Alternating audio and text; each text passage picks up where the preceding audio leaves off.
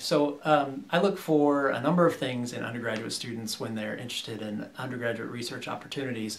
First, I do look at the student's GPA. The student must have a minimum GPA of 3.25 uh, to initiate work in my laboratory because in my opinion, that level of GPA is really the bare minimum that a student need, needs to make sure that work in the laboratory does not interfere with their success in the classroom. That being said, a 4.0 is not required. What is really required is a creativity and enthusiasm and a fervor for wanting to get into the laboratory and learn something new. And on top of that, I look for reliability. I expect for students who say they want to work in the laboratory to be present and come and make great contributions.